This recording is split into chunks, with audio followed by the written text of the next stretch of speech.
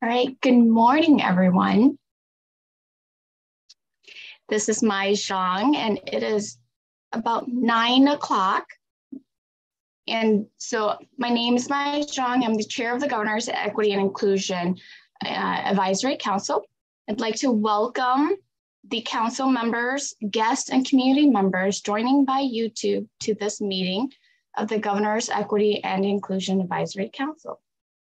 So before we start, I'd like to make a roll call. As I read your name, please say present. Uh, Robin Davis. Present. Kevin Carr.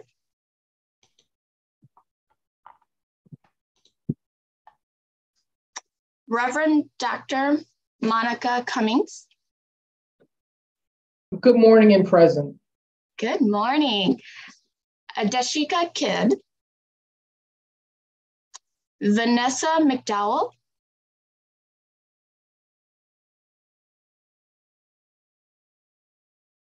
Aiden Paula. Marie Summers. Present. Good morning. Karen Timberlake. Present. Good morning. Dawn Crim. Present. Dr. LeVar Charleston. Present. Thank you. Emily Edmondson. Present. Victor Barnett.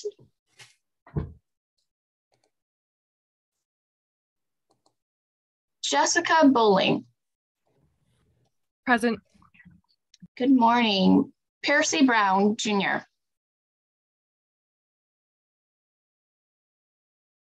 Q L Amin. Present. Good morning. And then Ruben Hopkins.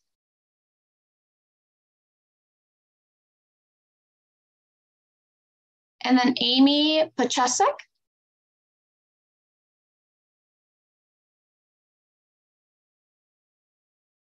And Markasa Tucker. And Beth Wabrowski. And Secretary Mary Kolar. We have Jessica Cavazos. Nisreen Atada. Present. Good morning. And then Reverend Dr. Alex Gee. Tammy Rivera. Shondell Spivey. Greg Steinberg. Present. Good morning. Dr. Adawa White. And then my J. Lowly. Present. Good morning. Hi, Mai. This is um, Secretary Carr. I am present. Good morning, Secretary. Thank you for joining us. All right, well, thank you all for joining us this morning. Uh, just a couple of announcements here. Please mute your mic or phone if you are not speaking. If you have a questions, uh, please use the raised hand feature to be acknowledged. And you can find that at bottom of your screen with the reaction if you'd like to share, um, I'd also like to share that on Friday, October 21st, uh, the Governor's Equity and Inclusion Advisory Council is invited to join the State Council on Affirmative Action for the annual Diversity Awards. The Diversity Award recognizes the state agencies, Wisconsin's technical colleges, and UW campuses for their strong commitment to promote to the promotion of diversity workforce, of a diverse workforce, as measured by the creation of programs, initiatives, and practices. So uh, teams, please look for the invitations in your email that should be coming out. And then we also want to acknowledge uh, in advance that in September, from September 15th through the Oct October 15th is National Hispanic Heritage Month. And the theme this year uh, is Esperanza. And so moving on, last month, some announcement. Um, within the past, the pandemic, we haven't had the Hmong International Festival that has been celebrated last month. The 40th an- anniversary of the Hmong International Freedom Festival was celebrated on July 2nd and 3rd. So there was a pause for three months, and they a three for the last couple years, and they just finally had an, a successful event.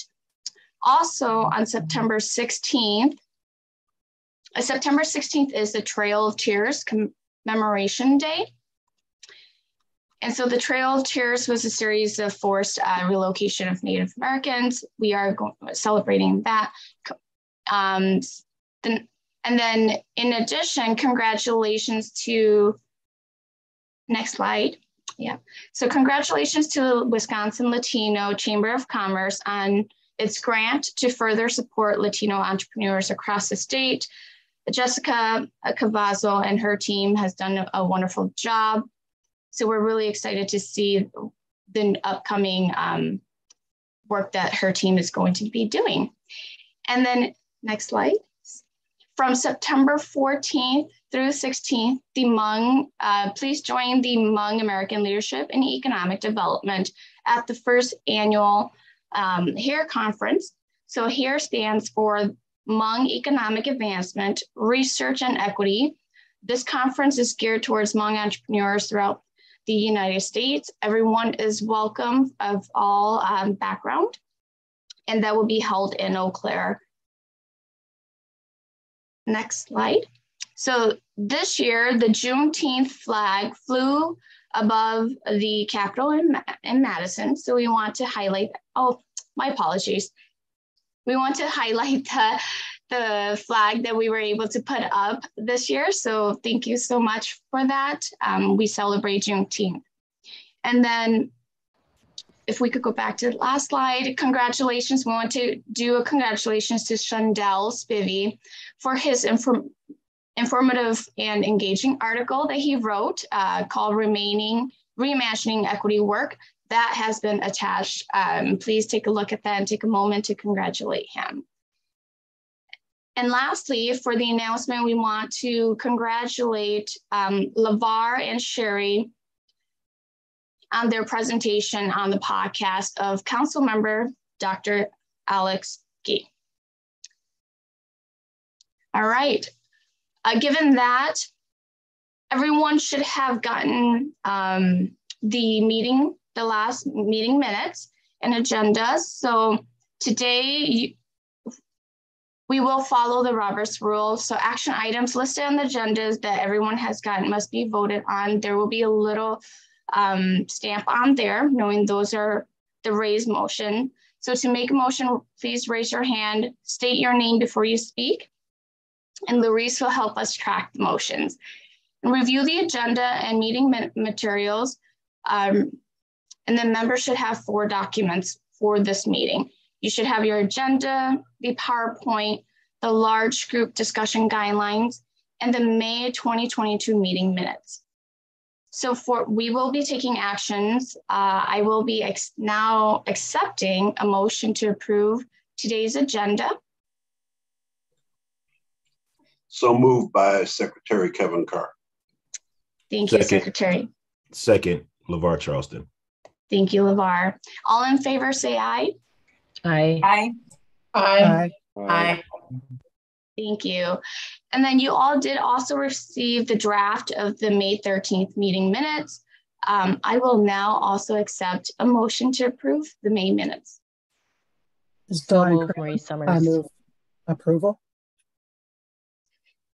Thank you. Is this uh, Ms. Summers? Dawn. Yes. I move approval. Okay, Dawn, thank you. Thank you so much. All in favor, say aye. Aye. Aye. All right, thank you so much.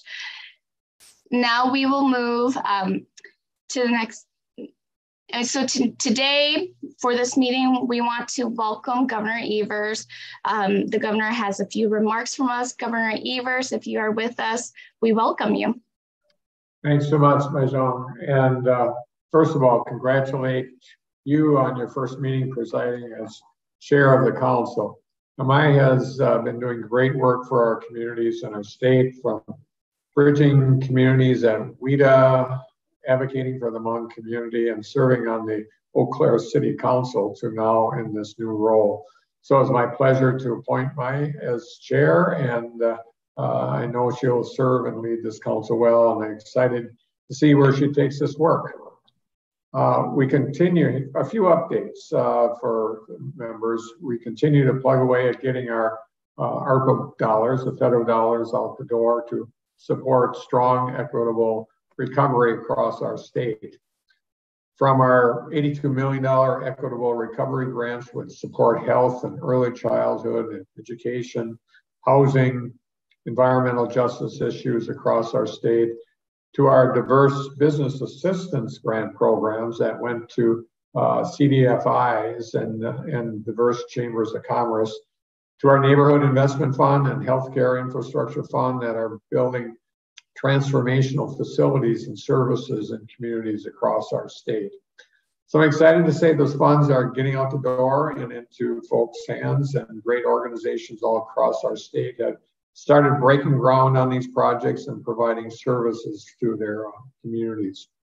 Over the last couple of weeks, I've also been glad to announce on more great grant programs that address health and wellness in our state, including more than $14 million for mental health services and expanding our behavioral uh, workforce, uh, especially for our kids and especially for children's Wisconsin, Children in Wisconsin Hospital new and their new mental health walk-in clinic, one of the first in the nation.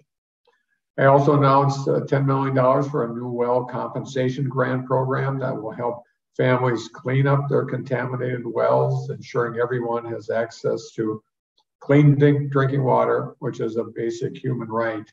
Um, uh, FYI, in Wisconsin, there are uh, over 800,000 uh, private wells, and many of them in our rural rural communities. And it's not just homes either. You'll see childcare uh, facilities and, and that have private wells, uh, bars and restaurants, and, and, other commercial places. And so we uh, we we feel it's important that all people have uh, clean drinking water, and this this new program will help that. And you'll hear from our new executive director and CEO of WHEDA, Elmer, Elmer Moore Jr., in just a minute, but I was also glad to join WHEDA in announcing a $32.4 million grant awards to fill the gap created by rising construction costs and supply chain delays for multi-housing, excuse me, multi-family housing projects as we continue to work and expand affordable housing in our state. So great work uh, is happening and transforming communities and businesses all across the state as these dollars go out the door. Um, so um, I just want to share something that Larice uh, shared with our, my office. Uh, it's quote from the, uh, the movie A Beautiful Day in the Neighborhood. Uh, and, and uh, the quote around that is anything mentionable is manageable. This quote describes the correlation between conversations about change and strategic planning to implement that change. So the conversations you all have been having make us ready for that change. And I look forward to working with all of you on these solutions. What has started with the council, the commitment, the conversations, the planning has made the mentionable seem manageable. As I tra travel across the state, I see the people of Wisconsin are hopeful. They're moving forward, taking on new challenges, solving lingering problems. And I can't thank you enough for the role you have played in creating that hope and finding bold solutions. So my office will be reaching out to speak with you all about your interest in continuing to serve on this council and the ideas you have for the council as we go forward into a new year. You all have done great work and have the conversations around what change can look like. And we now get to moving into planning and implementation. So contact Kara if you have any questions about that, but she'll be reaching out to you for sure. As always, thank you for your continued work on the council and in your communities. Wisconsin's a better place to live, learn, and work. due to your good work. I look forward to continuing that work with this council to build a Wisconsin that works for everybody. Now, I am excited uh, to introduce somebody new to the council. I've already previewed our next guest, but I'm happy to introduce the new executive director and CEO of WHEDA, Elmer Moore Jr. Elmer, it's all yours. Thank you so much, Governor, uh, for the introduction. And thank you so much for this opportunity. So I'm, I'm going to be very brief in my remarks. I want to introduce myself. My name is Elmer Moore, as you've already heard. Uh, and I'm just elated to get to be the CEO and executive director of WHEDA. If you would allow me to give you potentially a reintroduction to what WHEDA is and what WHEDA is working on. At our core, we are the Wisconsin Housing and Economic Development Authority. And I want you all to understand that we recognize that equity has to be absolutely central in our work. We understand and appreciate the fact that people of color, people of different abilities, and people who are part of the LGBTQ plus community have been historically, systematically, and systemically disenfranchised and unable to access fair and affordable housing. And so our work is not just housing an end unto itself. We understand that affordable housing impacts so many other parts of the person and other parts of our state.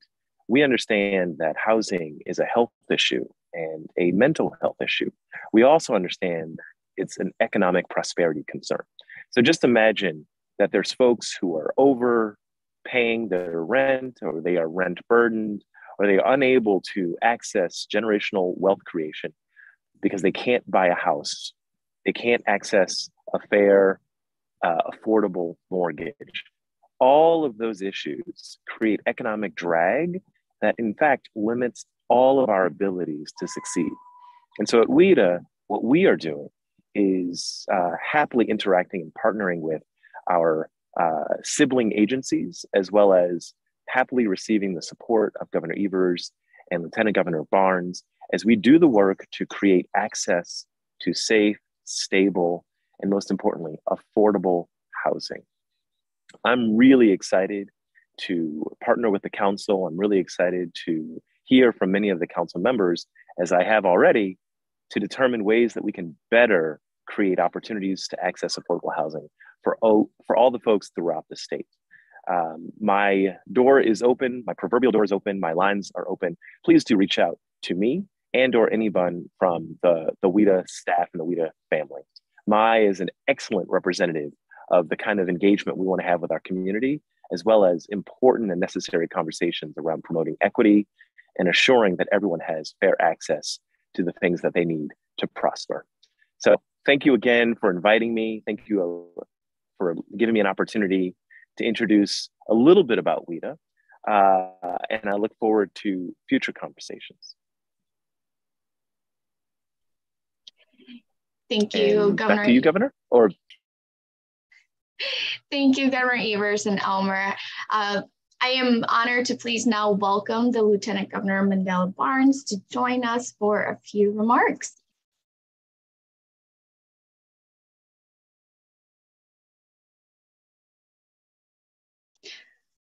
My, so it, it appears oh it sorry. appears Lieutenant Governor hasn't joined us yet, but if he's able to come in, we will move him on the agenda.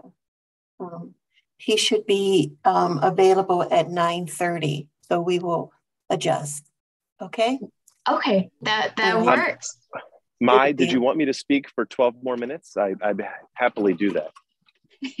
I'm kidding. I'm kidding. Thank you. Um, Lori's, I, I, think that works. So we can move on to the, and then uh, with Lieutenant Governor Barnes not being able to join us till 9.30, you know, um, Governor Evers and Elmer, you are more than welcome to please hang in with us as we report out some of the activities from our committees or subcommittees. Um, all right, so we will move on to the subcommittee reports while we wait for Governor, uh, Lieutenant Governor Barnes. And so we could start with Maya Joe, the uh, Community Engagement Committee subcommittee. Thank you, Maya. Um, so thank you, everyone.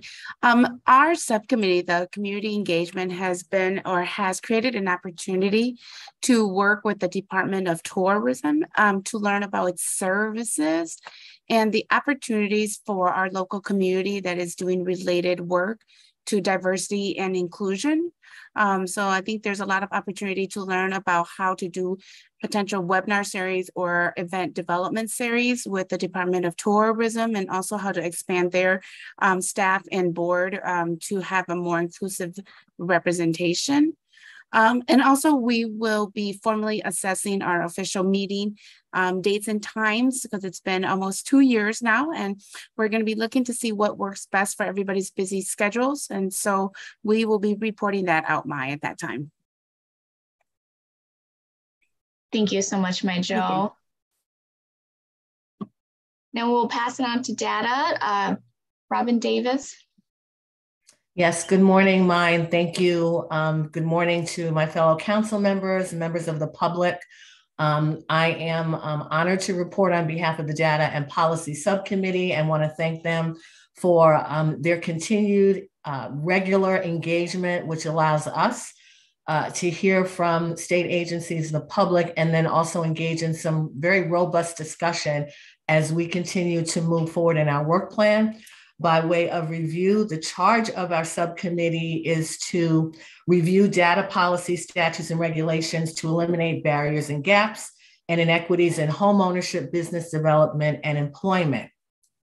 Our guiding statement for this work is to co create recommendations with our fellow council members for Wisconsin public, including state agencies and private sector policies that will inform the changes that are needed to move Wisconsin uh, towards building um, organizational cultures that will embed um, equity and inclusion in recruitment, hiring, onboarding, and promotion.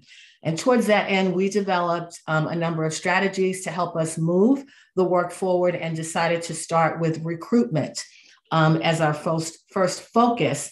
And in terms of recruitment, we are looking at um, what are the ways to expand advertising and outreach efforts to attract a more diverse pool of applicants um, for state government employment opportunities? And then how do we expand pipelines of diverse applicants with the necessary skills and experience for high priority um, government positions? And because of uh, the engagement of our subcommittee and their many connections within the community and experience, we've been able to invite presenters to share with us um, their lesson learned, lessons learned and their um, successes. So at our June 16th meeting, we had a presentation by the city of Racine. Uh, Vicki Selkowe, who is the manager of strategic initiatives and community partnerships for uh, working with Mayor Cory Mason, as well as Damian Evans, who is the equity officer for the city of Racine. And so they both talked about the city's equity workforce plan, how they're connecting with city department leaders with the support of the Racine Common Council, as well as their strategies to work collaborative, collaboratively with public and private sector organizations. Um, so it was a great in-depth presentation. There were lots of questions from our subcommittee um, in terms of how are they going to be measuring uh, goals, outcomes, um, and once again, as I mentioned earlier, what are the um, the successes and the lessons learned, and how can we take that information and share that out, um, not just with this council, but beyond. Um, and because they are early in the work, we invited our, those presenters to return to the committee in a year so that we could hear the updates and hear about the progress that they are making. Um, and then on our July 21st meeting, uh, we invited Tanya Evans, who is the director of the Bureau of Milwaukee Enrollment Services, and Shannon Kavorik, who is an HR generalist and uh, with the Bureau of Human Services to share with us how they um, went about their recruitment strategy for the director of the newly created department, Office of Health Equity, which is focused on health equity. And so it was once again a great uh, presentation where they talked about how they use um, the standard state recruiting channels, but then also how they've uh, innovated uh, in other ways using connections with HC, HBCUs and others, LinkedIn and other strategies. So once again, um, great presentations, uh, a lot of great information that we're going to incorporate as we move forward. Next on our agenda for September will be a presentation from Jobs Work Milwaukee, which looks at um, creating, overcoming barriers to long-term employment and um, helping to motivate the, the folks that they work with in, in terms of their employment journey. Um, and then we are also going to be developing a survey to go out to this council to um, solicit your ideas, your information, your connections on other um, innovative employment practices that will help help us move the work forward. So that is our report. Um, I will open it up if there are any subcommittee members who want to briefly um, add to uh, the overall subcommittee report.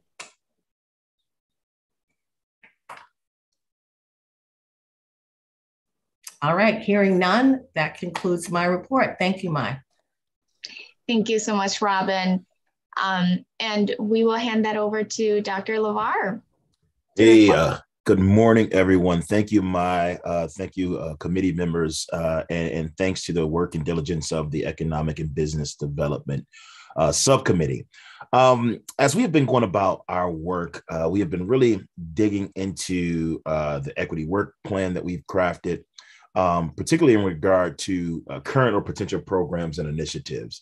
Uh, one of the challenges of our work has been to understand everything that is going on in our area, in this area, in an effort to sort of not reinvent the wheel and to better illuminate uh, these opportunities and perhaps encourage more uh, repositories for resources or, or connections to easy accessibility to resources uh, for business owners or future business owners.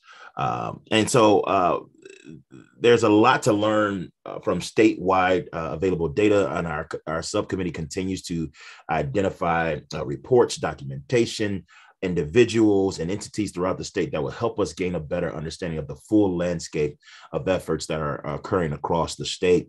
Uh, we're asking we're asking the question: uh, What else do we need to know that we don't know? Um, really, in an effort to a- embody some data-informed decision making to ensure our efforts are truly effective and not um, ineffective or redundant. Right. Uh, to that end, uh, we are we are continuing to have substantive conversations with folks who have been hard at work in terms of enhancing opportunities for uh, individuals who have been historically marginalized in terms of the business, entrepreneurial, or procurement enterprises. Uh, in June, at our June meeting, we welcomed Director of the Wisconsin Supplier Diversity Program, Tandra Davis, uh, to our subcommittee. Uh, we had a very productive and constructive conversation um, as a part of our efforts to both inventory and capitalize on our state's uh, existing strengths. Uh, we were apprised of the many efforts and successes her, her office has uh, been undergoing, and through that interaction engagement, really probed us to brain wrestle on how we might add value to these efforts, as well as assess potential areas of opportunity across business enterprises. And so, uh, meeting with Mrs. Davis uh, really helped us to crystallize our thinking in many ways, but in, in two ways specifically. Um, one, what else uh, uh, what what's out there or needs to be out there for businesses? And two what are the best or emergent practices that promote collaboration professional development access and success uh, for businesses? Um, and because we have the pleasure of having the secretary of the doa on our committee we realize that the doa is a natural convener across state agencies. And so we continue to brain wrestle around how the doa could enhance uh, our efforts working across and collaborating with other state agencies and how our subcommittees uh, efforts might encourage more connectedness and more collaborative effort for the ultimate goal of identifying and implementing uh, systemic strategies that will increase the utilization of marginalized groups and women-owned businesses uh, through state contracting and other support mechanisms. Uh, we have a new uh, director WHEDA. We we may uh, tap him as well. welcome um, uh, Director Moore, um, and we have some other folks on the docket that we are looking to uh, to, to gain some more information that would inform uh, our decision making and, and, and our equity work plan. And so uh, I'll do the same uh, thing as as Robin and say if if there's any members of our group who would like to add to this. Um, and if not, that will conclude our um, committee report for this, our subcommittee report on, on today.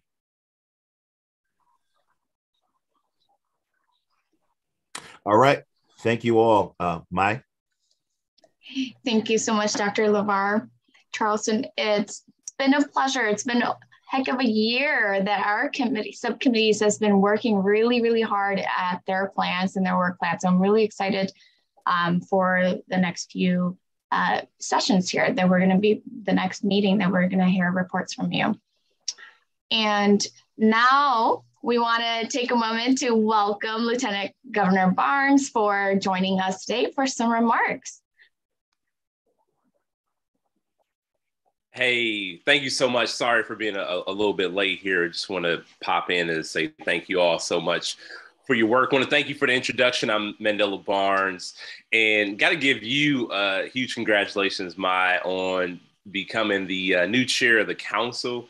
Uh, you are, I can't think of a more deserving person in this role, and I'm absolutely looking forward to continue to work with you moving forward. And I know that taking this on is voluntary, but it's so, so very necessary. And I am deeply appreciative of your personal commitment to advancing all the work that we do, as well as your commitment to the council. Uh, you are here for a reason. Now, throughout my entire tenure as lieutenant governor of the state, I've been able to travel to all 72 counties to meet with people from different communities who are making change. And the people that I've met with range from state employees to farmers to CEOs, fast food workers, everybody in between. And all these individuals come from different backgrounds. They work at different places and they all have different struggles. But they all have at least two things in common. One, they're all Wisconsinites. And two, they all want to be a part of the solution to solving the problems that we face as a state. Now, these are people who are making change on large and small scales, just like we are. And we can't discount those folks. And that's why it's essential to recognize the efforts of individuals as they navigate complex systems within their various communities. And now, the work of this council is important, not only because we have the collective expertise and the vision to create a better tomorrow, but we can also advise the individuals who are striving every day to make change, even on smaller scales. So, through our work here on the Governor's Equity Inclusion Advisory Council, we do have the support of leaders at the highest levels, and we also have a real opportunity to see lasting change. And that's why I'm so grateful to every single member of this council. I want to thank you all for your hard work and your dedication. I want to just say again how proud of the work that I am that we are all putting in together. I, just like you, am so, or just like I hope you are, I'm very excited to continue working towards making the state of Wisconsin a more equitable place for every single person who lives here. Thank you so much, Lieutenant Governor. And so I, we're really excited to, we are excited to have you. And we also want to take a moment to thank uh, Governor Evers, uh, the lieutenant, and Elmer for joining us today. It has been a pleasure to hear updates and the success that Wisconsin is moving towards equity. Uh, given that we are a little early, Larisha, we we are a little early. If there are no more yep. questions, we'll go ahead and take our break a little bit early. There's a 15 minute break. Please um, return in 15 minutes. All right. Thank you so much.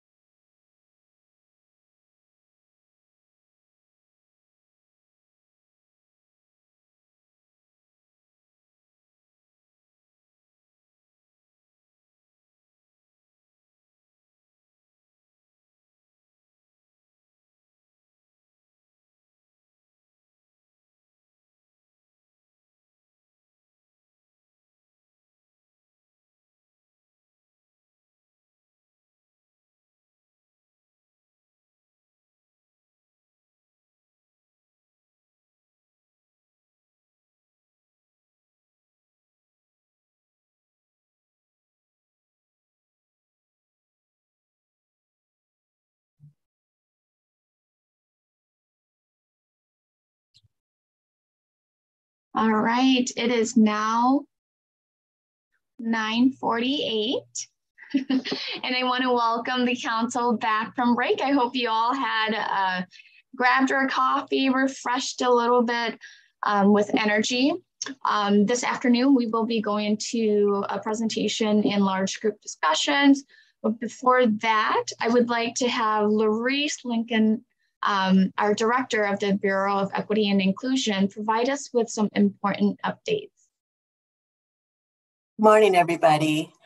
I hope that, um, like Maya, you had a chance to walk away from your computer for a moment and check up, check on some um, take care of yourselves and grab your coffee and come back for a second half of what we hope will be um, informational information for you to use as we move forward. Um, I don't know if many of you remember, but um, when one of our first council meetings, we provided you with a live training from one of our DOA attorneys on Wisconsin public records law. And that training was wonderful and dynamic, and we appreciate so much that she was able to do that um, for you um, during one of our council meetings. However, since that time, we, we have done is made this meeting um, something that you can access. And it's an interactive meeting that you can do on your own. And all um, council appointees are required to complete this training, which is why we did it um, that day, and we need you to do it again this year. Um, you should have received an email from me, and you will receive a follow up email from me with the same information to remind you that you will need to access our Cornerstone training um, program and complete the Wisconsin Public Law training. This training must be completed by you by November 30th. Um, and the instructions were included in the email. Um, once you access that um, website, you would enter the initial password that was provided for you and then enter your own subsequent private password for you to be able to access this on a regular basis. Um, your name was added to the list, so you would not be able to access this without having permission. So no one else can share this or enter this um, platform and do this training except for you. If you have any questions or if you have any concerns with accessing the platform, please contact me directly and we will work that out for you or you can contact our training department, um, or I can contact them for you. But we really need to make sure that everyone on the council has completed the training by November 30th. It probably takes about 15 minutes at the most. Um, and um, it's very entertaining, very interactive, and very informative. So we look forward to having you complete that, um, printing out your certificate or, you know, downloading your certificate and forwarding a copy of that for me so that I can put it in the council official records. All right, thank you so much for that. I also wanted to, oh, I'm sorry. Go ahead, Louise. Was there any questions about that from anybody? Okay. I also wanted to take a moment to share with you some of the ups, up, uh, updates that have been made to the council's website. So if we could put that up, that would be great.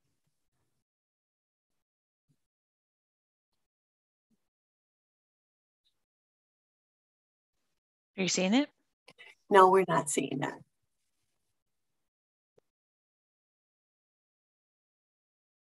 It's okay. There it is. All right. So um, the the Governor's Council has its own webpage on the DOA site, and um, you can access this through the link that's usually in the on, on your agenda, or you can access this by typing Governor's Equity and Inclusion Council into the um, into the search bar, and it should come up. What we did was change the ribbon. We added um, in the About GEIAC drop down areas that um, explain different aspects of the council, including information about the executive order um, that brought the council into being, as well as um, put in the council leadership and currently our chair, Mai is listed as well as our subcommittee chairs on that page.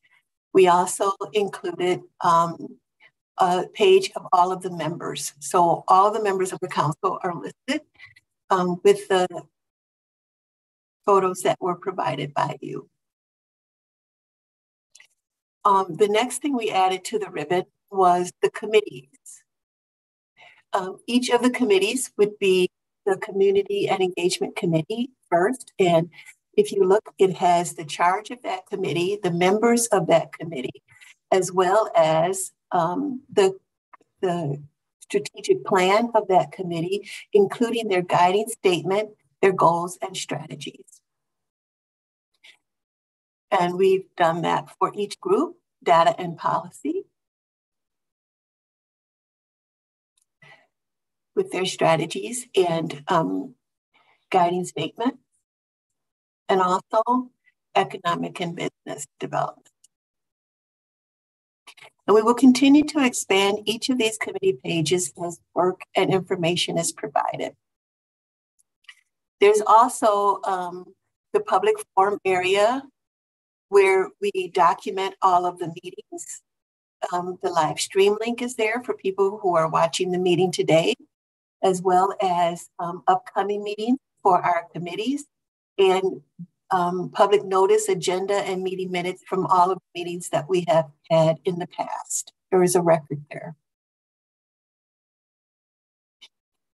So we're very excited about this opportunity to um, make this web page available publicly so that people can see the great work that's being done by the council. So thank you very much. I hope that you have a chance to visit the page. Um, please provide any feedback or um, updates or ideas that you might have about how this page can grow and expand. We look forward to hearing from you. Thank you so much. Thank you so much, Larice. Um, the website looks beautiful. Larice and her team did a wonderful job. If you haven't taken a look at that, please go do. There's lots of information and updates to the site. So Larice, thank you for your uh, you and your team's hard work. Mm-hmm. And so we'll next we'll be moving on to um, a presentation on mapping. And so we thought it'd be beneficial for the council to go through a map mapping session to move us towards action for each of our subcommittees. After the presentation, we will go into a large group discussion. All members, um, you all should have received the large group discussion guideline that also includes two, the two questions that the group will discuss after the presentation. And so we are, as we're looking at moving towards action, I'll, Lucy, if I could have you move to the next slide. Uh, we'll want to, since the start of this council, uh, we have done a fair amount of planning with Larice's, uh, her department's help as, as subcommittees on your own. You've done uh, a number of planning sessions, met with a number of folks, and did your research. So to ensure the successful ex execution of our charges for each of our committee and the whole council, the council as a whole, again, each of your committees has gone through some part of a strategic planning process. And so with that, we just want to quickly review the strategic planning process of where we have been. And so part of the strategic process, planning process is doing the discovery piece. The discovery task that each of your team have been doing is uh, gathering information, uh, doing surveys and questionnaires for each uh, different committees or or industry that you have been, you're targeting, and then reviewing of documentations, policies and procedures, again, those currently existing strategic plans that departments have or that's existing, and other background materials. So that's part of the discovery. And as we this last few months, we have been doing the analyze analysis of those as you come through with your goals is reviewing the information gathered during the discovery, um, identifying strengths and weaknesses in the current environment, if you have not, most of you have, and then evaluating the gaps between the current environment and the desired state. I would say which many of you have done most of these, but most committees are probably in the process of evaluating the gaps right now. Um, and we do want to move towards the findings and the recommendations with your goals. And so with that findings and recommendations, the next step is that gap analysis and report card that you'll want to produce, um, the recommendations that will come out of that, the action plans to the goals um, that could be executed, the roadmaps for migrating to the desired future state that we want to take um, for our, our goals that we've picked, we've chosen. So next slide, please. And so our goal is to identify barriers to each of the goals that has been identified and set forth by each of our subcommittees. So in order for us to identify the barriers, we'll want to look at these different steps um, of identifying barriers to goals. And these are just some examples that we put on here as far as, an, you know, uh, a model for us to use or consider as we're going through and identifying those barriers is as you identify uh, your goal, an example uh, for identifying a goal is making our community farming a farm program multi-generational by allowing parents and children to plant vegetables together. So that was in this example, the goal.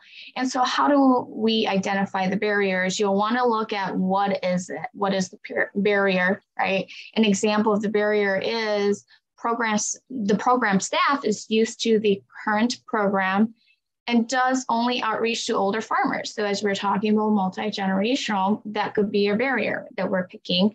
Um, and the next barrier that you want to take a look at to kind of dive breaking that down is now if that is a barrier is that a barrier internal or external and so because it's staffing and this is internal evaluation we know that you know now that's an internal and you'll want to look at the barrier again some more is who holds the power to that uh, that to changing that barrier right so the power holder, the person who has power in this case would be the program manager or supervisor that we would want to connect to about that particular barrier that is preventing us from moving the program to multi-generational. And so then the last question is now that we've identified the three pieces to the barrier of what is it? Is the barrier internal or external? And then who holds that power to making those changes?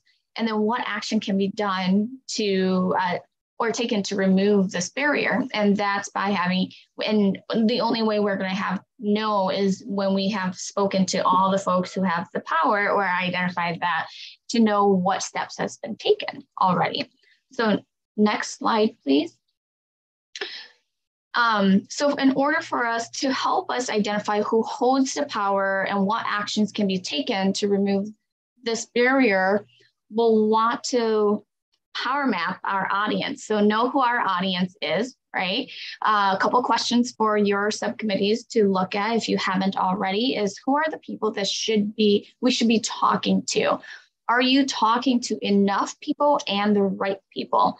So identifying the people uh, you need to include and the power that they hold uh, to make a decision. And so when we do do um, activities like this or have a new um, program or project that we're doing, we always do, um, if I always use the power mapping tool to really help um, us identify as part of this strategic plan is what existing programs are currently in place and who is managing them. So if you look at this um, chart here, is utilizing this uh, this cross, the section, if in this section, um, in the most influent, the upper section, you would want in this upper right corner here is going to be those that are most influenced and powerful. You'll want to list them as far as those that have, um, there are most influenced and powerful. And to the right here, they are also strongly supportive of your goals. So you'll want to find those folks and put them, list them on here to identify, okay, who is on your team who is influential and are able to, and, and currently is supportive. You also want to identify who's also influential, but may strongly oppose um, that particular, the goal that you're trying to work with. Um, and, and then the lower part here and the lower left corner here is those that are uh, are strongly opposing, but they are also uh, less, least influential.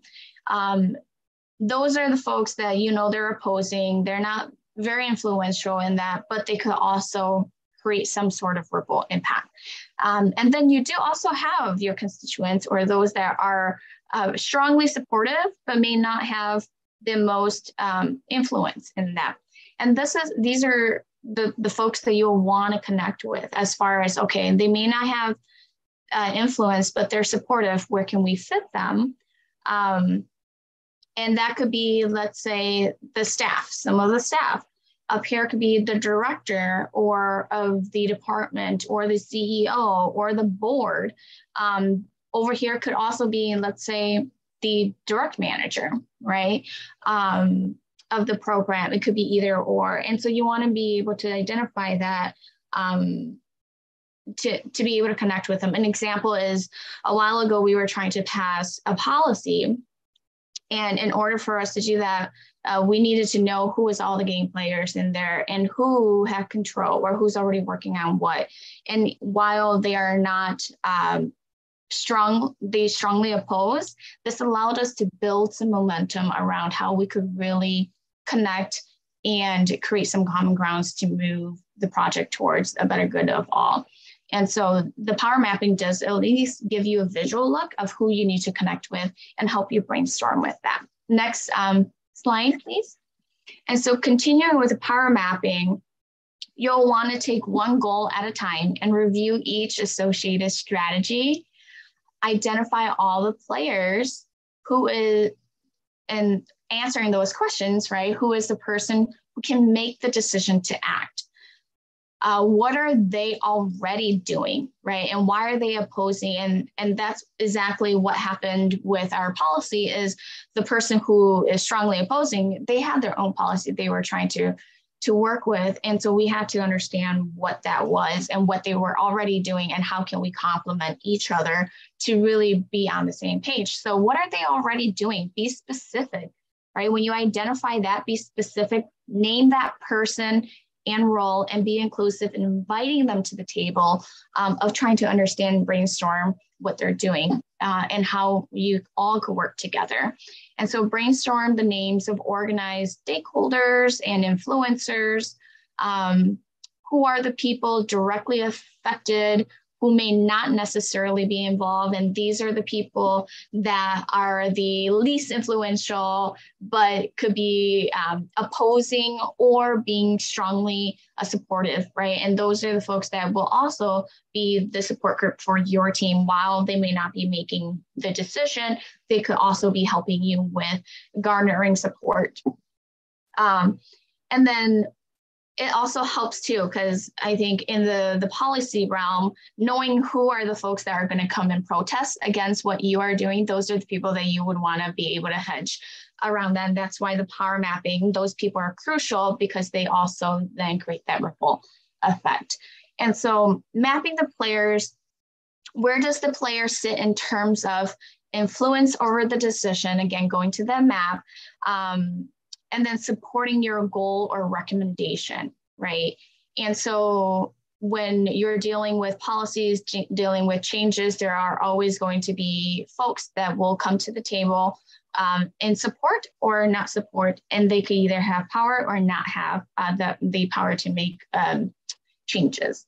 And so identifying those relationships too. So identify any known links between any of the players and draw the lines uh, between them to indicate connections. Um, this will help your team reach decision makers indirectly and to advise the influencer. So what you may see is that you may see a connection between those that are uh, opposing and they may have a connection. Um, you may have someone who is really supportive and has the power and the influence in that section that is also connected to the person that has influence but it's unsupportive but you could then leverage the, the relationship to kind of draw in that neutral conversation so this is where um, knowing the re- knowing where you're re- identifying those re- uh, those relationships is key uh, that warm handoff and uh, the creating our support uh, helps. And of course, the research piece, right? Ensuring that these subcommittees is researching and understanding what current solutions are out there and find out what is working and what is not right? Uh, you the, the council has probably heard me talk about this on a numerous occasion about not working in silos. Oftentimes we are all trying to achieve for the same goal.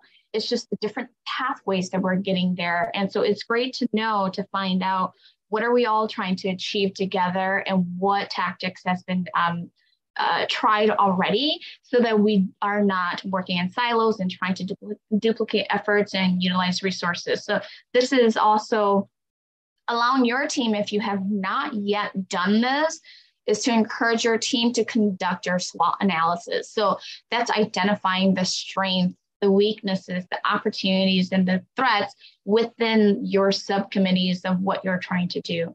So, for example, um, I'm gonna I will use economic development because that's my background, and I would say, hey, we're looking for contracts, right? What are the current strengths that our um, if we're looking at the state level, what is our current strengths? What what has been done and what is the weaknesses that power, manpower, capital, resource, finance, you list all of that and the opportunities and threats. And um, and so there's lots of resources on that for your team. Be happy to get somebody out if you guys to, to help your uh, respective committee if you want to do that and need some resources on how to do that. Um, but we encourage you to do a SWOT analysis. The next slide. And so, you know, how do we advance and complement the current uh, the work currently taking place, as I mentioned earlier, um, because there are a lot. The, the state of Wisconsin has so many different departments, so many different initiatives. It's ever changing, so many moving pieces. So we, as a as a council, as advisory council, we want to make sure that we could advance and complement the current work that's taking place to really then make the, make changes happen, right? And so how couple things that um, your committee should be asking is how does the goals and strategies of the council align with the current landscape of work taking place, right? Of the current work that is embedded. Um, order our um, the order 59 did also have state agencies working on equity and inclusion so the goal is to look at what is the current initiatives that has came out of that and how can our council help support some of these and and improve right? Or provide suggestions and support to to ensuring that we're all leading towards the same um, place. And so who are the stakeholders do you want to reach out to? So each department not all departments may be working specifically on uh, equity and inclusion but there are specific task force. So knowing who are the stakeholders what is being done are there specific subsets of the committee um, you also want to reach? So instead, maybe it could be women, men, elders, ch- children's and their parents, working families. You'll want to know where these stakeholders are, who they are that you want to reach. Um, you also want to know are there specific subsets of agencies you want to reach, right? So and again, going back to economic development, we have three different agencies uh, or more that does economic development that works with businesses. And so knowing those departments like the Department of Administrators and directors, um, there's also other quasi-government agencies that are working on um, economic development. So these are the agencies you want to work with of how do you how do you bridge these resources and these gaps and bridge these silos, right? As we, we are stronger when we could all communicate and speak the same language. Um, and again, that goes, do they engage with your committee, subcommittees, right? Um, once you identify these, again, it comes back to the power mapping of who's all the, you know, the team players and the stakeholders and have you spoken to all of these guys is when um, you can ask answer that question is do they engage with your subcommittee? If they haven't then we want to make sure that you are engaging with them to knowing what they're already doing and also identifying if um, if they're on board with you right? And how you guys could get garner that support from them. Next slide please. And so mapping those assets, again, uh, it comes back to knowing your the landscape and engaging uh, community members in identifying communities. That's where you want to know who your target is. Um, so when you know what the, the your target is, you would want to engage those community members in identifying community assets and needs specific to the subcommittee goals. Um, we'll want to know if have for again economic development have you spoken to stakeholders or businesses to know exactly what are the challenges right um, have you got the chance to do that and then have you got the chance to speak with agencies who's working with these to understand what are the barriers that they're also seeing in connecting with these individuals and then engaging agency stakeholders, again, that's what I, I, just mentioned, in identifying current initiatives and projects specific to your subcommittee's goal. Uh, there is a difference between speculation and documentation.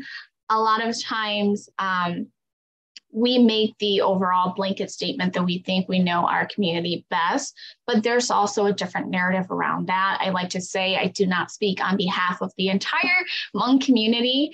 Um, but as a Hmong person with the experience, I only know from what I've experienced. So it's also good to be able to be in connect with those that are in at the ground level facing those challenges. So there is a difference between that speculation and documentation.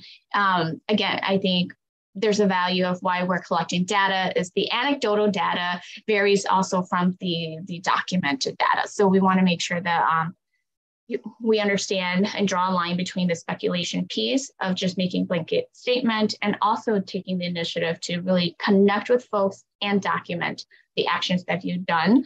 Um, and the real value of our work comes from the positive impact and sustainability of the change uh, taking place. And so we realize um, hailed uh, as we work through equitable economic development strategies, we know that equity cannot come from a singular source. We need all players to be in this game in order for us to really achieve equity and close the gap because we have to look at it through a holistic lens of what are all the moving pieces that could contribute to the issue. Um, and how do we support each other so we're not working in silos and not missing out on those gaps. The next slide.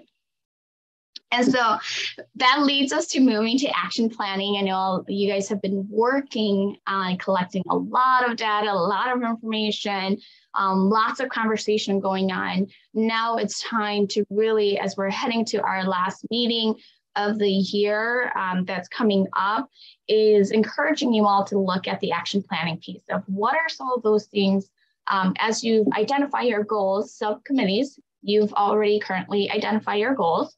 Um, now looking at what are the barriers in place that could impact the subcommittee's goals, right? Um, example act is actions is not aligned in alignment with current initiatives, right? You'll want to look at your goals after you do that in-depth analysis of is your goals also in alignment with what is currently happening at the state? Or are we duplicating? Um, and how can we bring how could we refine that or come together to strengthen the, your current initiatives or the current initiatives that it's happening to?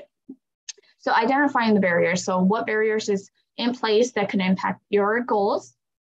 What are the supports or resources in place that could address barriers to these subcommittee goals. Um, the person who has those answers are those those that have power and have resources to make changes. So you want to really again engage right? Are we engaged with the right people in the process? Are they giving us the right resources we need to ensure that this can move forward?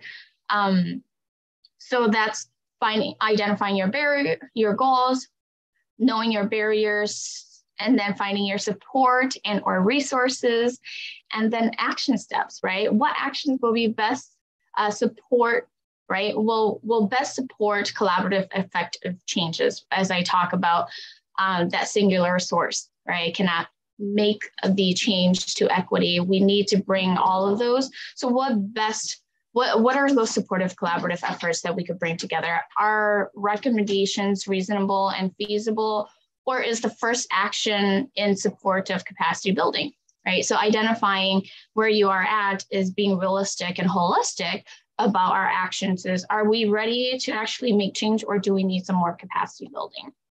Um, so, and, and those are identifying your next action steps. So next slide, please. So given that as we walk through this uh, power mapping and this mapping presentation, I want to give an opportunity for our subcommittees to ask any questions around this process. Um, and where I'm hopeful that the presentation has uh, given you some takeaways to, to be able to move you towards action. So I'll open this up for questions.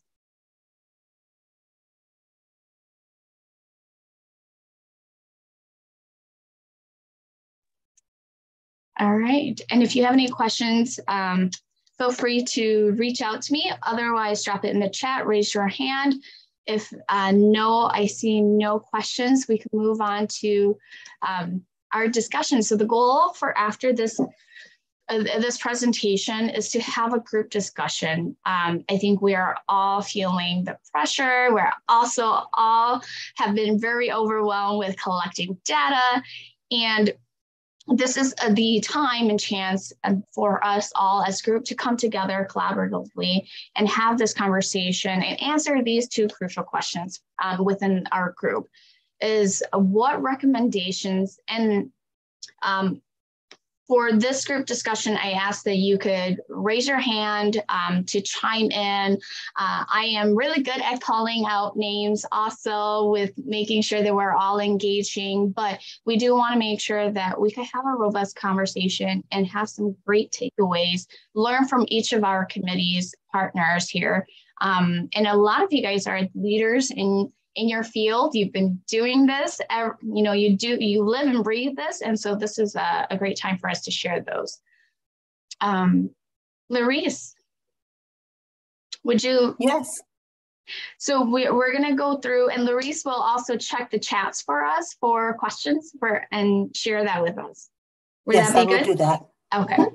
And so moving to the questions is what recommendations do you have um, to align, these are the two questions. What recommendations do you have to align the subcommittee work with activities already taking place within uh, communities? And then how can we use our voices to inform and support work already in process in state government? And so please refer to, again, the large group discussion. Um, Larice, may I pass that over to you to help us facilitate this session? Sure, I can I can help with that. So if we wanted to start with the first question, um, what recommendations do you have to align the subcommittee work with activities already taking place within the communities? It would be very um, helpful if some of the members of each subcommittee could talk about or discuss their own ideas related to that, their work. Please identify yourself and your subcommittee and let us know what recommendations you have or what actions you may have already taken um, to align the subcommittee's work with, with your communities. And the communities can be your um, the public communities that you're working with or state groups that you are working with.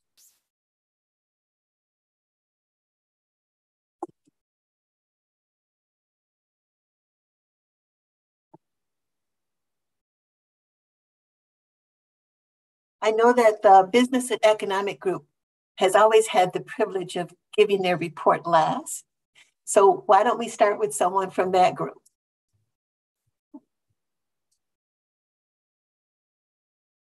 Please feel free to open your mic and respond.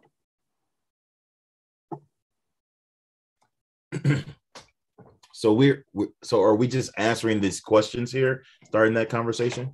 Just yes. to clarify. Yeah. Um, Yeah, you know, I think that uh, particularly as it relates to number one, like what recommendations do you have to align the subcommittee work with activities already taking place within communities? I think as I sort of given in our um, in our uh, report that you know prior to crafting our equity workforce plan, I, am not certain that we gathered all the information that we needed to be more informative. So we're kind of um, reflecting, moving forward, reflecting, going back and forth to see how our recommendations align with what's already happening.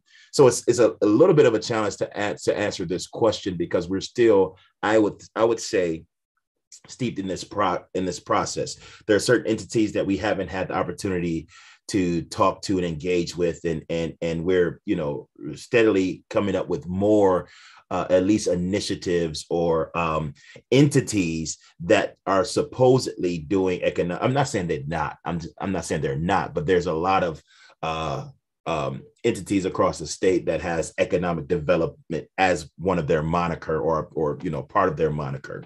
So um, the challenge is is I think we would be hasty to provide recommendations right now while we're still sort of uncovering sort of new and innovative strategies or entities that are doing this work. So we're kind of not backtracking, but like pausing just a little bit to, to, to make sure that we're dotting our I's and crossing our T's. And again, trying to uncover where synergies align between uh, our our uh, subcommittee and others. What we do know is kind of how I alluded to uh, before is that there are um, there are some in, uh, important or um, relevant folks who are in our, com- in our committee who have positions uh, state positions or across the state or uh, that that could add value to our work as well and can help build these bridges uh, in terms of communication or moving the agenda forward. We know even as it relates to state entities that uh, things like uh, there could be more communication and more collaboration between uh, entities like work uh, uh, uh, marketplace and and some of our efforts and and and you know we want to ensure that there's not uh, and we have this issue at the University of Wisconsin Madison as well, where you know there are folks who are doing things that are similar, and it's kind of um, uh, you know decentralized, and folks are kind of have their head down, going about their own business, and not taking advantage of the opportunity to collaborate because we have uh, similar. Uh, uh, uh, uh, goals, values, and things. I see Ruben unplugged here, so I'm, I'm thinking he wants to say something as well. Thank you. Good morning. Uh, my yeah, my apologies for being late. Um, hi everybody.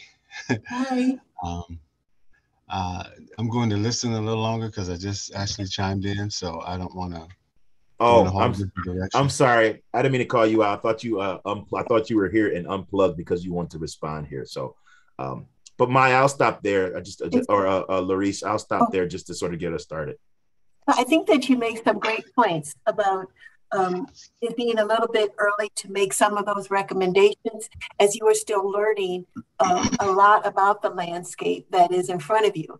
I think that with thinking about that, um, would you be able to um, share, or any of any of the subgroups, be able to share what are some of the ways in which you are identifying those groups that you need to speak to? Um, um, Secretary Emerson, you have your hand up. Would you respond to that? Thanks. Sure, happy to. Um, and thanks, Dr. Charleston, for getting us started. Um, I think that was a really um, accurate summary of sort of, um, you know, it reminds me of of kind of um, circling the issue. And I think where we started was with the lived experience of some of the members of our subgroup um, to say this is what it looks like and feels like to us as members of um, communities impacted by state policy and by you know current sort of state offerings. Um, this is what works this is what doesn't work. And then from there you know we started to do a little bit of an examination of some of the um, some of the processes or products or um, convenings that the state offers around economic development. And I think what's been interesting there is sort of like how those how those entities connect and how they don't connect. And I think that was um, a part of what Dr. Charleston was um, was kind of alluding to is we've sort of um, I think there was an assumption when we started our work that there were purposeful decisions made to keep certain pieces of um, the economic development picture like separate. Um, and so, for example, um, in in Dr. Charleston's report on our subgroup work, we've learned so much from um, Tandra Davis from the um, Diversity Supplier Program over at DOA, and they put together this amazing report every year um, where you know it really provides a lot of information about um, state agencies relationship to diverse contracting. Um, what we noticed and what our the folks in our subgroup were telling us is like that information is not shared in places where communities are naturally coming together. And um, and so like we're like okay there's a disconnect there. Um, and so i think what we're trying to do right now is grapple with a little bit of the diaspora that we feel and again dr dr charleston referenced this this sort of like there are a lot of different entities doing economic development at the local level. And um, some of them convene together, some of them don't convene together. We want to be really cognizant and really um, inclusive of all of the different entities doing um, economic development work. And then we want to connect. We don't want to duplicate. We don't want to, um, you know, reinvent wheels. We want to really like coalesce and find those places where, um, where we can like better share this information. Um, and so I think we've got a really great subgroup because we we see the puzzle, we see the problem from different vantage points. We've got a number of really engaged state agency folks. We've got a number of really engaged um, folks from the community who are really tapped into naturally occurring economic development circles. Um, and so now it's just about like sort of like magnetizing, I think, our strategy to get us closer to um, to, to actually making an impact. Um, and it looks like I can cast it over to Ruben. We've given him enough time. He's got he's got it now. Thank you so much. Thank you. That was great. Ruben, you have your hand up. Yeah. Um, so if I if I understand the question correctly, what recommendations uh, do we have to align the subcommittee work with activities already taking place uh, within the community yes. and then how we can use our voice to inform and support work already in progress in state government. So um, one of the things that we've done in the last two weeks is we have a preliminary, the Wisconsin Black Chamber, we have a preliminary agreement with Marketplace. Um, uh, Marketplace is going to take place on the 6th. Um, we're going to host a, um, a, minor, a Black and diverse uh, business uh, procurement expo the next day after marketplace in the same space. And so um, what and then we have preliminarily agreed to cross market as well. So the, the the the, promotions for marketplace and the promotions for our uh, diverse um, procurement expo are going to be cross marketed uh, and so i think that things like that are, are, are, where we have opportunity to win. Because you know marketplace has always been one of those things for me that i kept saying marketplaces marketplace because this is the governor's conference on minority business. Mm-hmm. but uh, we also understand that those people that will be at marketplace are uh, established businesses that have been do- doing business with the government for a while and they're normally the ones highlighted at marketplace. Uh, well the next day for us are businesses that um, would like to be showcased at marketplace but they're not ready yet. And so these will be all the businesses that we're getting ready for next year's marketplace. And that's what we're telling people. That's how we're promoting it. Uh, we're planning to invite everyone who benefited from the bounce back grant. Every business uh, minority business a diverse business that benefited from uh, the bounce back grant we're inviting them to our particular event and so it turns into a win-win, you know, for marketplace and for what we're trying to do in uh, bringing uh, proof proof of our work, right? Because this event is for us to prove our work for the resources that the governor has put into our community. How do we prove the work? We get that community that was just funded to show up. And so uh, we also got Milwaukee County. Uh, Milwaukee County wants to, basically they want to host the conversation around procurement and getting more local businesses involved in procurement. Uh, and so, and we're still in conversations with the city um, as to what role they are, are, willing to play on that second day. And so, um, I, so I think things like this are the kind of things that um, uh, where we have opportunity to prove um, or, or get a better feel of where all of these businesses are the established businesses as well as uh, the new businesses we're bringing online the businesses that you know got the technical assistance and the businesses that are, are working uh, for the capacity building. And uh, because it's it's black we, are calling it the black and diverse right uh, business uh, procurement expo we have the opportunity to go out us the chamber we have the opportunity to go to the other ethnic and diverse uh, chambers and say join us right at this event and let's show the direction. Let's show what we've been talking about. All these you know we asked for this money. The governor gave it to us. Now let's prove our work. And so um, that's that's kind of where i am in this conversation that's great. That sounds like a very clear example of what um, Secretary Anderson was talking about, using your experience with the marketplace to bridge and to identify areas where you can make those connections that need to be made with what you see as progress that needs to be made or ideas or actions that need to be taken with those activities that are already within the community and then bridging the community pieces that are not involved into that to get more information. So that's a perfect example of that. Is there is there a way for um with with thinking about that, with thinking about that experience, you know, the experience of what you have um, uh, had as a member of the council, spe- specific to your relative subcommittees, um, stepping away from economic we've given them, we put them on the spotlight. I'm going to go towards uh, data and community engagement.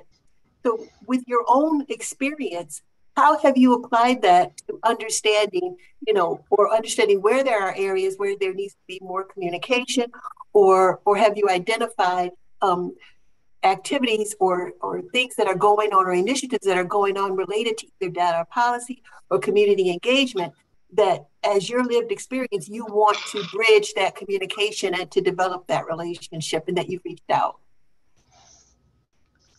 That's a question for me?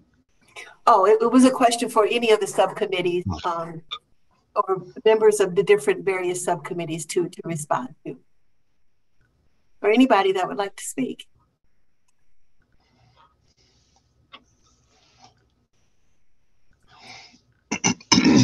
Um, so, Marie, oh, okay. Hi, Robin. Go ahead, go ahead, Robin. Robin. Go ahead, Robin. Mm-hmm.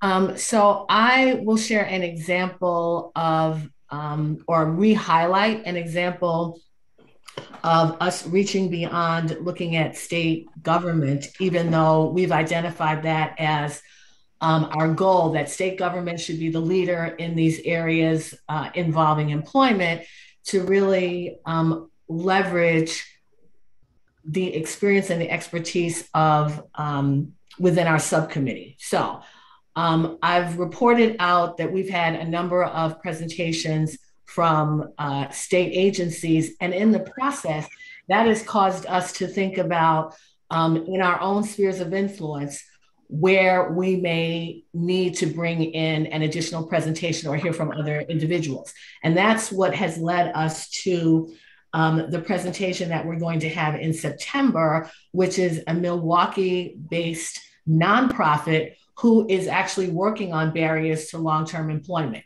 And our charge talks about how are we going to eliminate barriers to employment and then have the voice of a, of a nonprofit organization that is working with folks on the ground.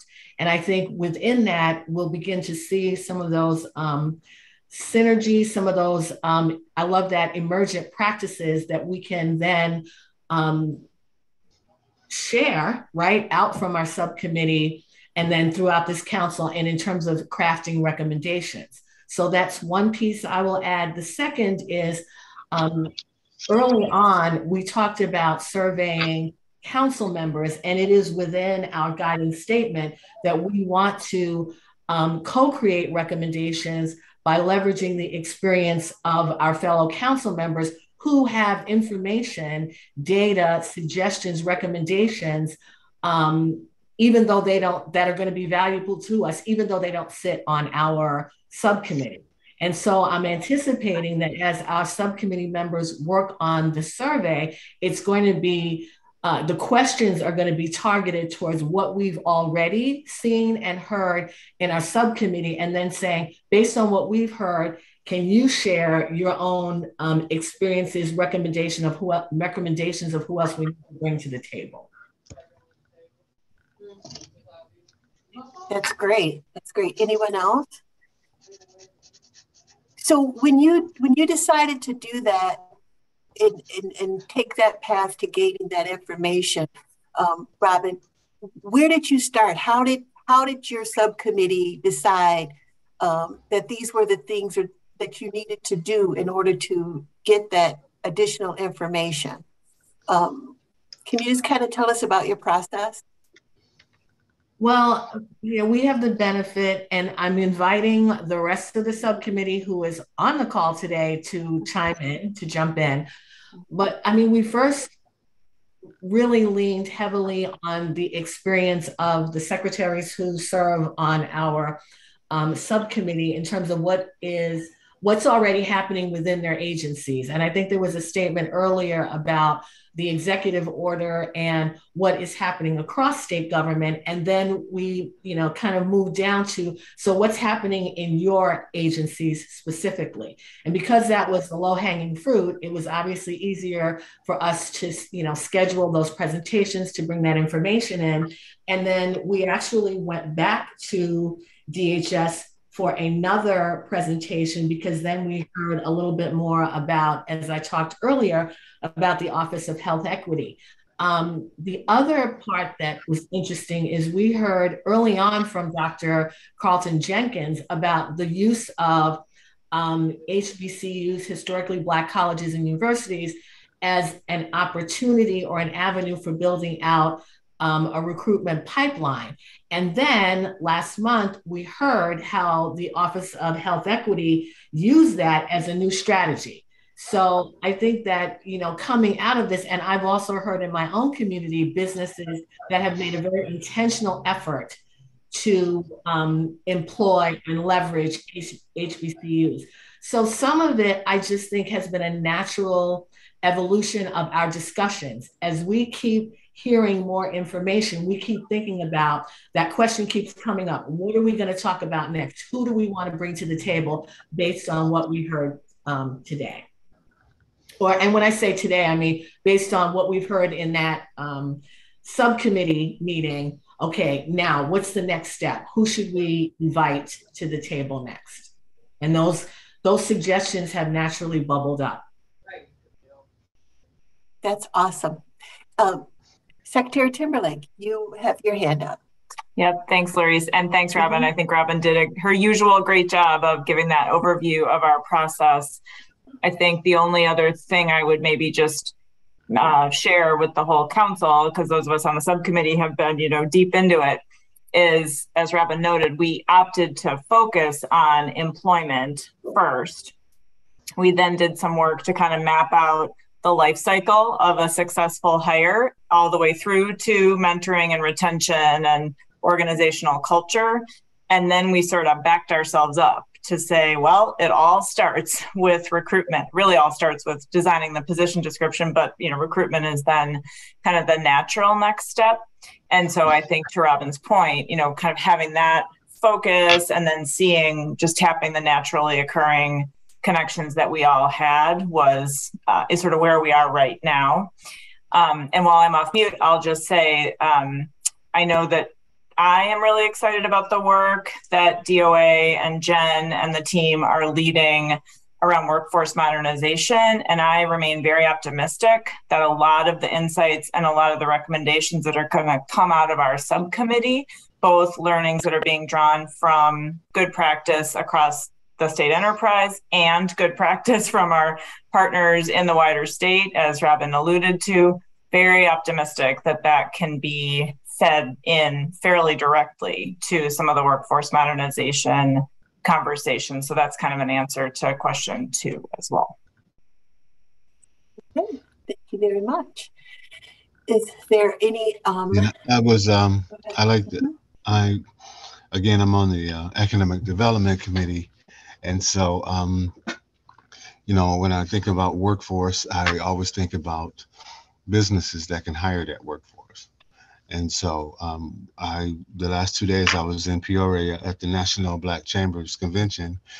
And one of the things, well, the, the three main points that came out of the discussion that we were having with the uh, related to um, uh, procurement, which meant more work for businesses of color, was that there was issues with paperwork so the you know the whole concept that the money is in the paperwork.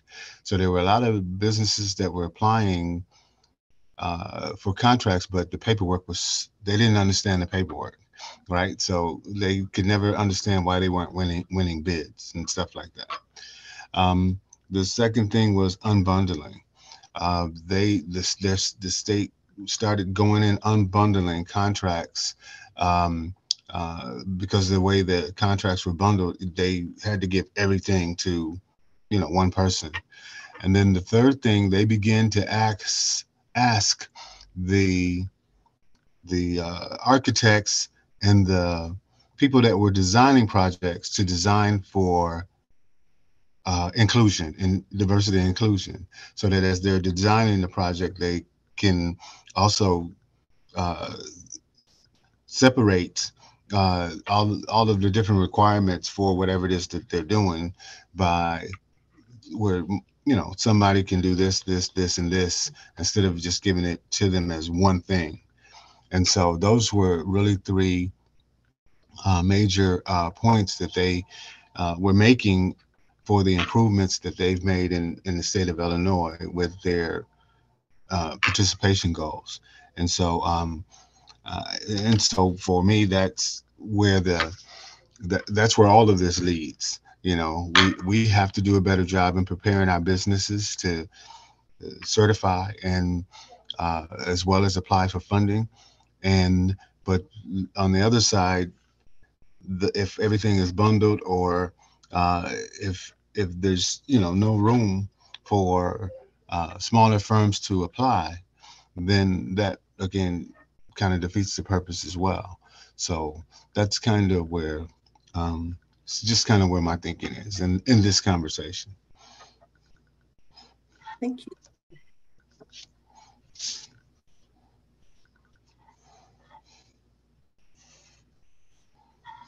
Um, you made a comment that a lot of the themes that um, were mentioned are coming up in our in your employment as well. Did you want to elaborate a little bit on that or? Sure. Just to say that, Ruben, I appreciate that overview of some of the barriers and some of the things that need to change in the contracting process. And if you, as I was listening to, if, if I take that up one level, you can hear a lot of very common elements in the way we need to be thinking about employment as well. In other words, if we think about a job as a contract opportunity, a lot of the same barriers that you're speaking to we are also identifying in our subcommittee's work and, and having some similar conversations about the ways that the struct the way we structure the creation of jobs, the way we structure how we recruit, the qualifications and the expertise we expect people to have. All of those things are also barriers to a more inclusive state workforce. Mm-hmm. Okay, let me just keep checking the chat.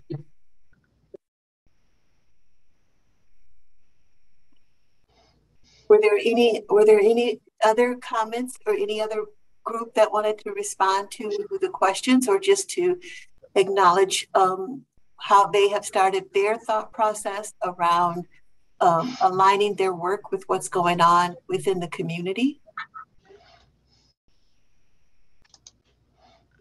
Larice, if I may, I know that the, um, so I've hopped on a couple of calls with the community engagement. I know they they have a large territory, and as we talked about, like just the state agencies, I'm wondering um, if we could ask the, the community engagement committee if you want to share what you guys have came up with. I know you have a larger territory you're covering and statewide.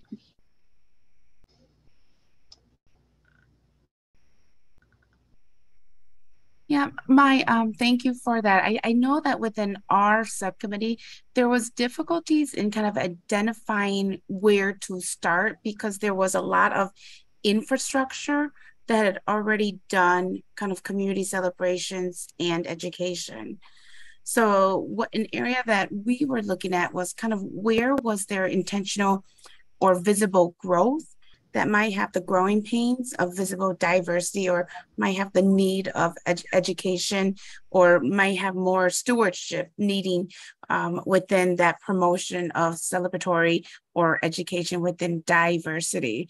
Um, so I know that that was something that we looked at regionally to see what were the regions um, or the regions that had that significant growth um, within diversity within its residents and school districts. Thank you so much. Okay. Anyone else want to comment? Yep, this is Shondell. Um, yeah. I'm also on the community engagement uh, committee. And, and in addition to what was just stated, um, some of the conversations around like honoring that there are organizations and agencies that are doing this community work and how can we in those areas, um, how can we get those agencies and communities together to kind of talk through ways in which we can promote these events statewide, um, those that are appropriate to promote statewide.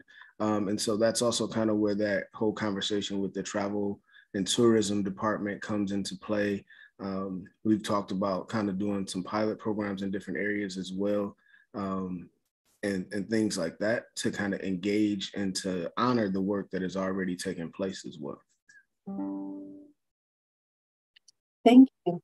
I can imagine um, community engagement having to consider what are the regional um, activities that are taking place across the state and that they're varying based upon the populations in those areas and that there's a lot of mapping of a landscape that you would have to do.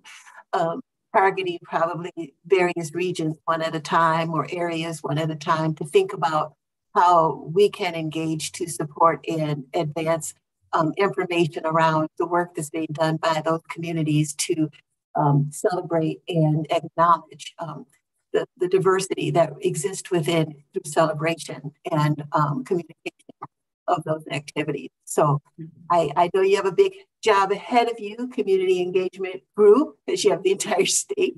So I appreciate you chiming in and um, providing that information. So thank you. Yeah, um, and look, recent and, and my, if I can just add, also the infrastructure within these community um, events is also very different. Um, infrastructures being all community volunteers, and then different infrastructures where there's much more support within their chamber or an organized nonprofit, a 501c. So even within the cultural events and celebrations, the infrastructure within that is, is very different.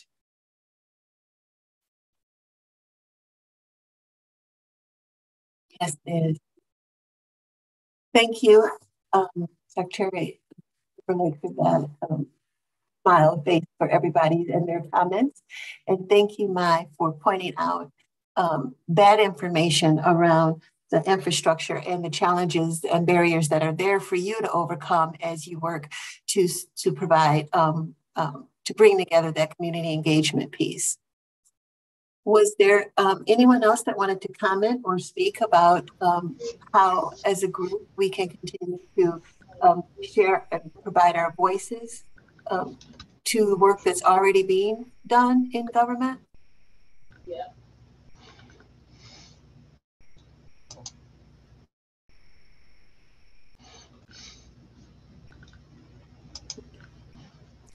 Are there any methods or ideas that you have or that you've been thinking about um, to help you to navigate or to identify um, where you need to start within the landscape? Have you regionalized it? Have you done it by population? Have you looked at it economically? Like, you know, where where those areas that need it the most? Um, even even when you're just thinking about the, the the state, have you thought about it in that way?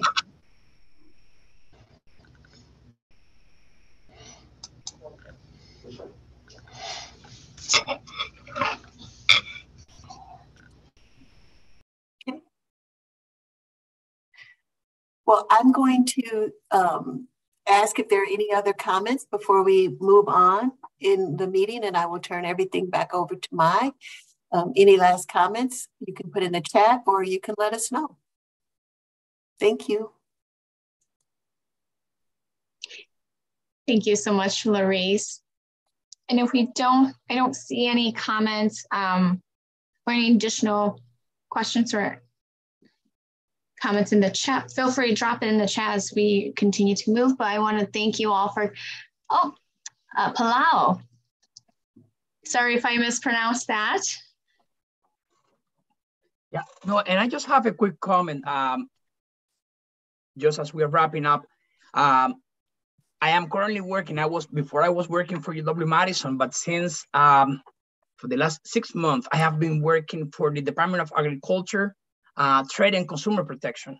So now I am part of the state, and it's a whole different experience when you are part of the organization and you can actually see how the the, the operations and the connections happen. Um, rather than giving in, thank you, thank you. Appreciate it. So rather than giving an, an impression, uh, I'm going to um, state um, an opportunity.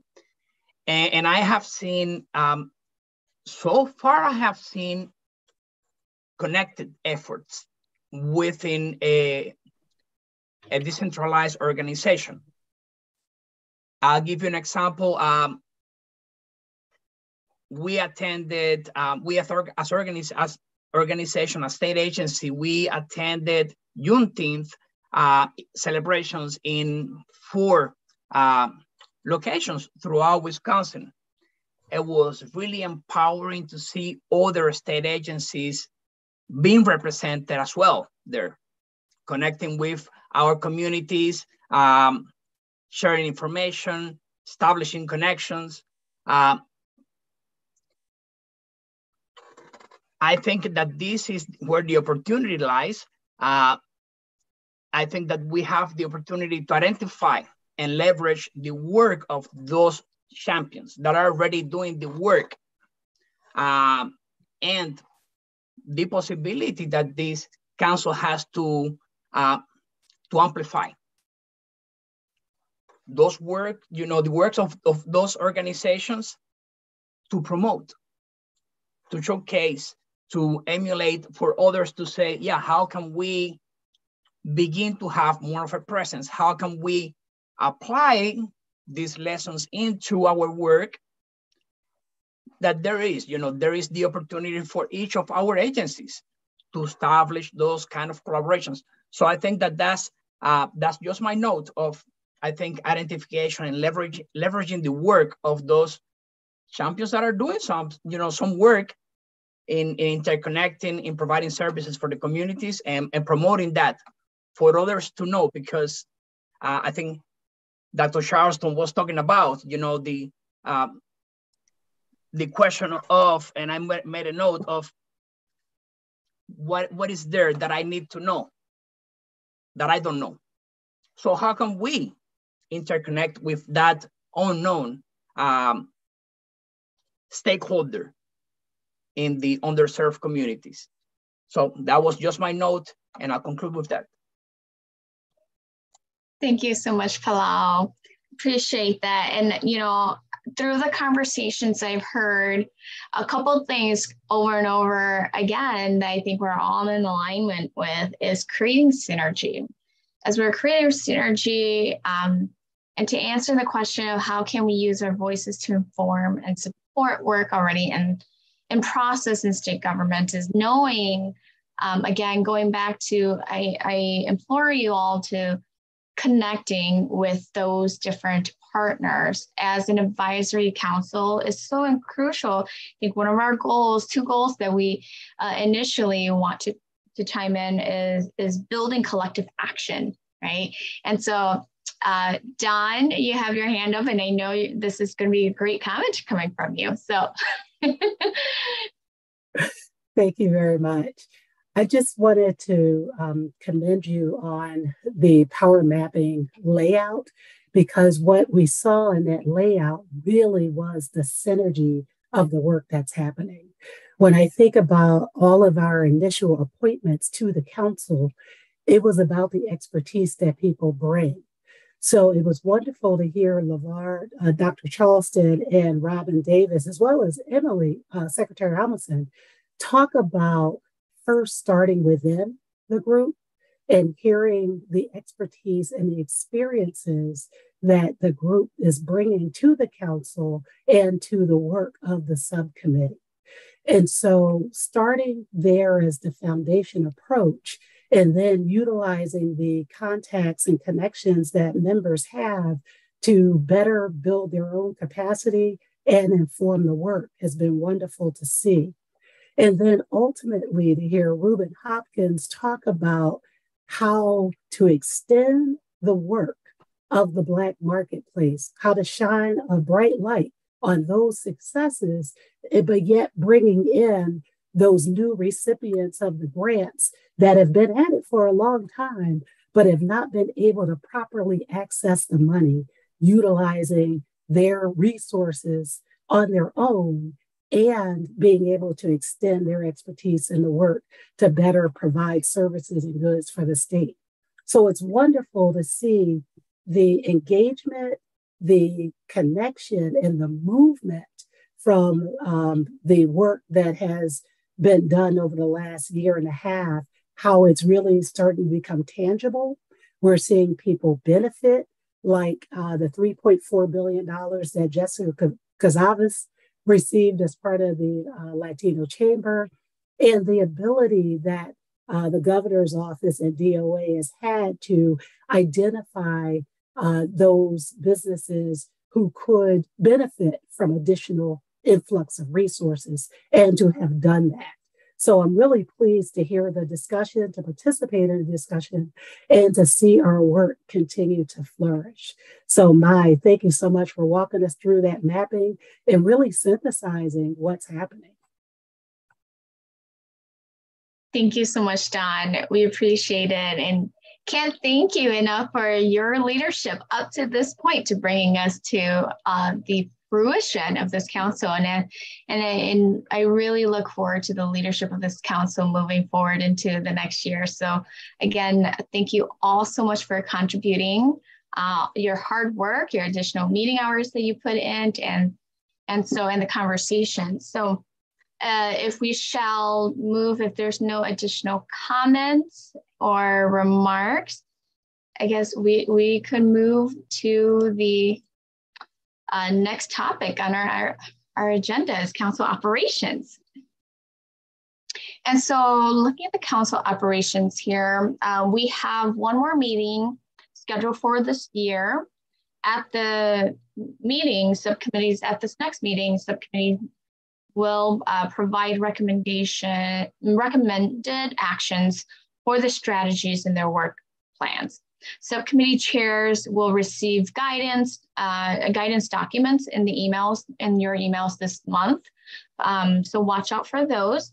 And the term uh, appointment for all council members will end in January of next year. So we are already, can you believe we're saying this, is our term um, is coming up in January and we're, we've done um, so much work already, like Adon had mentioned. So during the November meeting, council members will receive information on reappointments.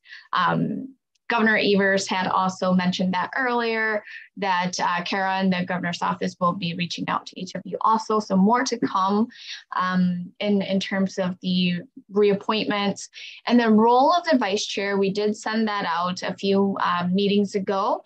We talked about finding a new vice chair. However, given the time and the position of chair is essential to this council, um, we want to review again the uh, what the chair, the vice chair will be looking at doing or their responsibilities is the vice chair again provides the chair counsel and guidance as needed um, provides leadership and guidance to subcommittee chairs proactively drive the administrative task and, need, and needs of the council. Um, the vice chair also assists the chair with communications as needed, uh, ensures the proper introduction and development of subcommittee chairs, and because of the importance um, of this role, we have decided to wait to February 2023 meeting to accept nominations for the position. So definitely please consider that as we're looking. This also allows the vice chair to start on a brand new term for the next two years in the appointment. So um, and so the process of uh, selecting a new vice chair, just want to share that out again as a reminder, each council member will receive information in an email following the February 2023 meeting on the roles and responsibilities of the position. This information will include a survey um, for members interested in the vice chair position to complete. Uh, we encourage you to do that so. And then once information is received, interested members will be contacted to discuss the position. Um, the final appointment will be um, a decision made by and during the May 2023 uh, meeting. And I, I, cannot believe we're already talking about 2023. So uh, in our meetings right now. So with that, I do want to conclude on that part. And then we want to go ahead and look at future meetings. Um, any questions about the vice chair I, appointment? Would definitely encourage you all to think about that. All right. And so if no questions or comments, um, we will move forward. So future meeting dates. Um, we have each uh, so I do want to first, before we go to the future meeting dates, want to take a moment uh, to thank each and every one of you. Um, I cannot believe we we again have come this far. All of your hard work, the council would not have come this far without your committed time and efforts in each of your subcommittees and attending these meetings here. And so thank you all so much for sharing, showing up, engage each time to share your knowledge and time um, with the council today. So future meeting dates, we do have a full council quarterly meeting. Our next meeting is Friday, uh, November 11th from 9 to 12 p.m. Again, this is the last meeting of the year. Um, subcommittee dates um, are listed as below. Uh, data and policy, your meeting again September 15th and October 20th economic development and business development, uh, your next meeting is today, August 19th. Uh, and then community engagement is September 20th. Uh, just a reminder, please send um, additional meeting dates over to uh, Larice as soon as you can if you have those identified. That way uh, they could put that out also for your in, in time for your next meeting. All right, so given that, um, is there any additional questions or comments? If not, I will now accept a motion to adjourn this meeting. So moved. Second, Marie Summers. Thank you so much. All in favor, say aye. Aye. Aye. All right, we are adjourned. Right. Thank you all again Thank so you. much for joining us in this meeting today. Take care. Thank you. Have Thank a good you. weekend, everyone. wonderful weekend. Thank you. Thank you. Nice job, Mai. Thank you so much, Dawn. Congratulations, Mai.